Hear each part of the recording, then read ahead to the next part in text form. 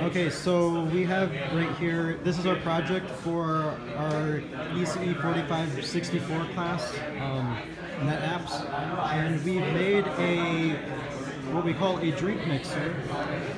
And basically what it, it, it's supposed to be like a smart drink mixer. It looks like, I know it looks really smart and everything like that. Um, basically the idea is we're, we have an app connected via Bluetooth to our drink mixer, and when you put when you put a glass under it, and uh, it'll read NFC to determine like how much of, it, of the drink it should pour. And when we select an option on the app, like the green, for example, it'll start pouring.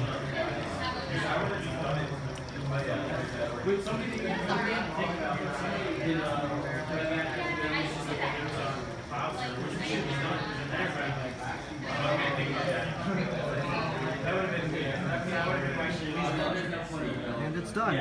Um, yeah, so here are the colors we have.